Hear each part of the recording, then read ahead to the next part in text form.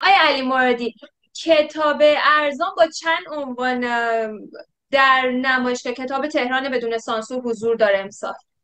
بله. ببین ما اگر مثلا کتاب به عنوان کتاب های جدید در دو سه ماه آینده گذشته بخوایم حساب کنیم بطرهای زیادی هستش. ولی اگر صحبت بر سر همین نمایشگاه تو رو برای اولین بار کتاب میاد نزدیک 6 عنوان 5 عنوان کتاب ده که دو عنوانش مال در کار زنان هستش بقیهش هم کار دیگران هست یا مردان هست به اصطلاح. توضیح می‌دید موضوعش چه رمان هست نوشتار فلسفی هست یا چه بله. دو تا از اون کتابایی که مال زنان هست رمانه. بقیه هم شعر هستش و یه سری بحثای جامعه شناسانه و نقد نقد در جامعه شناسی به شکلی در ارتباط با جهان سوم به طور کلی توقع شما به عنوان ناشر چه به لحاظ فرهنگی و چه به لحاظ اقتصادی و گردش مالی از نمایش از شرکت در نمایشگاه کتاب بدون سانسور چیه؟ خب آدم خیلی می‌تونه توقع داشته باشه ولی با واقعیت باید بخونه دیگه. من راستش بخواید توقع من در درجه اول فرهنگی. یعنی شخصا نمی‌خوام نگاه کنم فرهنگی رو چون یه بخشی از کار ما به هر حال ما کتاب سانسور نمی کنیم اینجا. هر آنچه که نویسنده می‌نویسه ما فقط ممکنه edit نظر edit ی داشته باشیم وگرنه نظر سانسوری سانسوری نداریم و این نکته مهمیه برای من. این بخشش. خب طبیعیه به خاطر اینکه این بخش هم پیش بره باز احتیاج به مسائل مالی داره و فروش کتاب داره. خب فروش کتاب اهمیت داره ولی به نظر من اون قسمتش برای من شخصا اهمیت زیادتری داره. ولی خب مسئله مالی هم خیلی جدیه. تنها در نمایشگاه نیستش که به ما تمام سال کارمون همینه دیگه که بتونیم از نظر فرهنگی کمکی کنیم به شکلی که من خیلی از کتاب های ایران رو برام میاد منتشر می‌کنم چون انتظار من تقاضا اینه که برگردونن قبل از سانسور یعنی خود سانسوری و ناشر سانسوری و نمی‌دونم چیزا اینجوری و معمولا هم این کار رو می‌کنن. به حال انتظارمون اینه کتاب فروش بره دوستان هموطن همکاری کنن و حداقل بیان آدم زیادی رو ببینیم. اونجا خودش ما رو تشویق می‌کنه گام بزرگتری برداریم برای سال شما فقط کتاب چاپی منتشر می‌کنین یا کتاب الکترونیکی هم منتشر می‌کنین و شبکه پخش و توضیحتون چطور کار می‌کنه؟ ما تنها کتاب چاپی یا فیزیکی چاپ می‌کنیم فعلا در مقطع کنونی و شبکه توضیحمون اینه که با برخی از پخش کننده های توی اروپا ارتباط داریم و کتاب رو میفرستیم اونا به شکلی به جاهای دیگه پخش می‌کنن. دیگه لازم نباشه ما به تک تک ناشرها یا کتاب فروشا بفرستیم. گاهی هم خودشون سفارش میدن. یا اینکه ما میفرستیم نمونه که نگاه کنه یا به درتون می‌خوره که بفرستیم. چیزا اینجوری تقریبا. توی سایت هم یه سایت هم داریم که اخیرا شروع به کار کردیم و تنظیم کردنش کردیم. من تکمیل داشته ولی تو این هفته تقریبا شروع به فعالیت چیزتر می‌کنه که تمام کتاب های تازه میده به عنوان یه ناشر فعال که همواره یه سری کتاب های جدیدی دارید منتشر می‌کنید کارتون متوقف نمیشه به نویسندگانتون هم حق و تعلیف پرداخت می‌کنیم؟ به همه طبیعتا نمی‌تونیم ولی به اون بر برخی ما این کارو می‌کنیم. حق تعلیف میدیم و یا بر اساس فروشه یا اینکه از پرداخت می‌کنیم ولی در تمام موارد اینجوری نیست.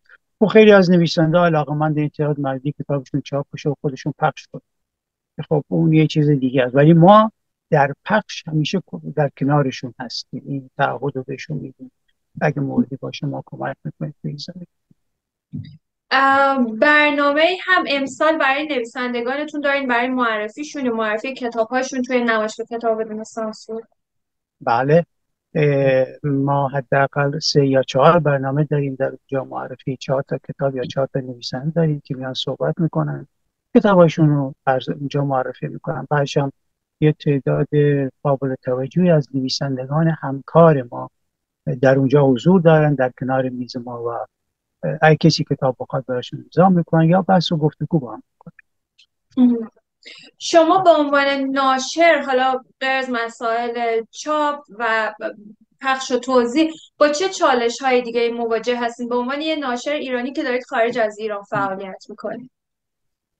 خب ببین به طور کلی ما می‌دونیم اینو بارها هم نوشته شده به طور کلی جامعه ما جامعه کتابخونی نیست اگر در مجموع نگاه کنیم. و ما باید تلاش زیادی بکنیم تا مردم پراکنده رو هموطن پراکنده رو بتونیم پیدا کنیم و ارتباط بگیریم. که اینا رو بکشونیم توی کتاب شما کتاب فروشی دارم اینجا.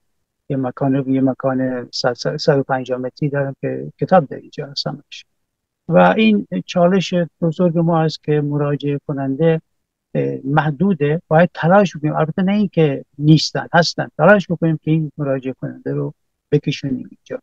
و مشکل دیگه هم که داریم نسل جوان اینجا اهل این کتاب ها نیستن به زبان فارسی و بیشتر انگلیسی و نمی‌دونم زبان های اون کشورهای مختلف رو میخون اگر بخونن البته. و این یکی از اون چالش های بزرگیه که ما در آینده هم همین الان درگیرشیم و آینده هم بیشتر خواهد شد. رابطه ناشرانه در تبعید رو با هم چطور ارزیابی می‌کنیم؟ در مجموع خوبه ولی مشکلاتی هم هست دیگه توی مثلا به حال ما یا کتاب برامون میفرستن یا ما کتاب میفرستیم. گاهی به هر حال مشکل پرداخت داریم. خودم میگم دیگران کار ندارم. ولی به هر حال این مسئله هست دیگه. یعنی به دلیل اینکه دشوار منبع درآمد فقط اگه کتاب باشه خیلی دشوار آدم بتونه به موقع کارش رو انجام بده و ولی به هر حال اینا عامل نمیشه ما با هم همکاری نکنیم. تقریبا من با هم از من خواستن همکاری می‌کنم نمیگم نه. علا رقمی که اگرم مشکلاتی باشه خب کار کتاب طرف هم همین مسئله ولی به طور کلی مشکلاتی هستش ولی عمده نیست. به نظر شما نشر بدون سانسور که الان داره خب انجام میشه توسط ناشرهای مختلف در خارج از ایران چه تأثیری بر ادبیات این دوره دوره ایران خواهد داشت؟ چه الان و چه در طولانی مدت؟ به باور من این حداقل در طولانی مدت شاید لحظه نباشه ولی الان الان الان شروع شده. تقریبا تمام بخش عظیمی از نویسنده هایی که جدی و به شکلی دگراندیشن به این رسیدن که این کتاب بدون سانسور یک چیزی هست. یک یک یه منبع خوب ازش استفاده کنن. و خیلی ها با ما تماس می‌گیرن برای چاپ و نشر کتاباشون و به همین دلیل من فکر می‌کنم که آینده این تاثیر بیشتر خواهد و یه فشاری هستش به اونجا که سانسور داره اعمال میشه. که اینو بردن چه بسا من شنیدم مثلا البته شنیدم نه اوایل بودش. به من بعضی هم می‌رفتن می‌گفتن کتاب مثلا سانسور می‌کردن می‌گفتن خب ما می‌بریم خارج کشور چاپ می‌کنیم. و بعضی موارد به اینا چیز دادن اجازه دادن که پخش بشه. و به هر حال اینا این تاثیر تاثیرش هم قطعی قطعا تاثیر زیادی در ادبیات خواهد گذاشت. چرا که اینجا داستان های خاص خودش یا رمان های خاص خودش یا اثراتی که ویژه تبعیده خلق میشه و این می‌تونه بخش بزرگی در آینده در ادبیات اون اون آب و خواب کمک زیادی بکنه یا گسترترش کنه.